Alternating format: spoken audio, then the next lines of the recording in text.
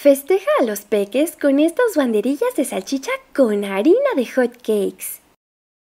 En un bowl, añade dos tazas de maravillosa harina de hot cakes junto con dos huevos, tres cuartos de taza de leche, dos cucharadas de mantequilla y bate con ganas.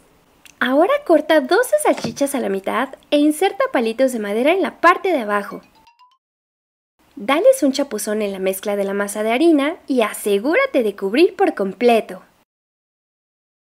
Fríe tus banderillas en un jacuzzi de aceite caliente y prepáralas para lucirse. ¡Listas! Prepara la fiesta con estas deliciosas banderillas de salchicha con harina de hot cakes express.